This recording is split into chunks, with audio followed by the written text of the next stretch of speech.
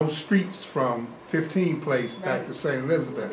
You got, you got the graveyard, then you got more, uh, fields, and then you got the cemeteries that you're talking about, or cemetery you're talking, that's further back up in there. Uh, Yeah, the. But Robinson Place, that borders the Jewish, if you look over, it, that's the Ah. Jewish cemetery, fifteen place. Hmm. Robinson Place is only about, uh, two blocks up from Alabama Avenue and fifteen place. I, I lived on fifteen place, Oh, oh. right exactly I think we make that transition, cemetery. we'll make that I mean, I transition. mean, my, I mean, my, my understanding is there was a gentleman, I cannot remember his name, I was in contact with him about two or three years ago.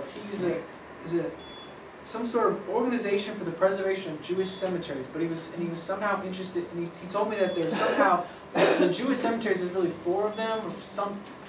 Like he you knew can all- see at least two of them. He, he knew all about it. He was very, very interested in the cemetery, the cemetery, I think the two cemeteries that you're talking about that have kind of been lost to history. The gentleman, his name is Addison Carter, Facebook friends with him, he's always posting stuff. His name is like Car- Car- Addison Carter, Carter Addison, something ran for mayor a couple times. He has this book out. He, when they did this, um, exhibition at the Civil, uh, the American, the Community Museum, and something about the Civil War, he was featured, we had like this audio. He kinda, he kinda did like a Dianne Dale type book. And somehow i- his family, in his family is Jacob Moore, who he says was involved with the Moore Cemetery. Hmm. Um, and he has interesting, he has information about that in the map and stuff like that. But I mean, a lot of this history is very scattered. yeah. That's- I guess that's all. Let me ask you, uh, was there a synagogue on there? Yeah, that's. Well, well, on uh, Martin Luther King Jr. Avenue, where I think where it comes right into southwest, was um, was it Eugene Kinlow? Probably some of you know. Someone he was telling me that as a as a as a child, he thought there was like a little a symbol outside of um, a building that said like this was a synagogue. I know there was supposed to be a Jewish history program at the Smithsonian Anacostia Museum many years ago, but for some reason it was canceled. Um, but I've heard grapevine that there was a synagogue on Martin Luther King Jr. Avenue, right where if you're coming off the highway and then you make the right, and then it was there. Uh, I'm not Well, that would exactly make sure. sense if there's a community here and It they would make perfect sense. It made perfect sense because otherwise you're gonna come all the way from. Right, across the bridge. Well, there was, as probably many of you know, there were a lot of uh, Jewish They had pharmacists in Southwest Washington. I mean, Al, Al Jolson grew up in Southwest Washington, and there was other kind of Oh. famous, you know, I guess Jewish, uh, what, uh, entertainers. I And he's come up in them. there. Um, Okay. Is there any other questions for them? All right, we thank y'all, man. Man, wow.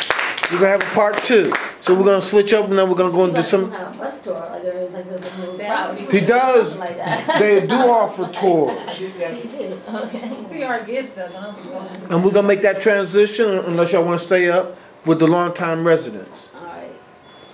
Uh-huh. Oh. My husband. Okay. Why don't you share with us your history of the museum, or, or, Well, About the museums? yeah. I will. I'm gonna have to sit. Sit, okay. All right. I don't have to be, you know. Okay. I should have had a PowerPoint, my husband tried to. But you can share. Well, I'm just real quick. Oh, come retribution. Uh, I, I can write the information But you, yeah, um, see, I don't have it somewhere here. We are gonna, uh, two long-time, uh, long-term, lifetime residents of, of Southeast. Abdul Alim Shabazz and Habib Muhammad. Abdullah Mateen Shabazz, Imam Abdullah Mateen Shabazz. Long-term resident. Okay, well, my, my, my, my, um, original name was Diane Lowry.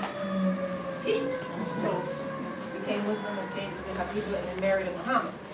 But I'm very much in this book, I grew up with Dianne Dale, pretty much, in, in, in the community. Um, and I was born and raised in the house that we just sold, Evansville. And I had a really nice picture of it, that I, but I found at Anacostia Museum, I also, so I'm a resident still. We, my parents bought three houses on the street, and, um, my husband and I have been in the house, one of the houses that they bought, um, for like twenty-some years. But am I also a recent retiree of Anacostia Smithsonian Museum? And I went up a couple of weeks ago to get some pictures of Evansville, the buildings and Martin Luther King. And I found a picture of my home, but I don't think it's in this book, but I didn't have, we didn't get a copy of it yet. But at any rate,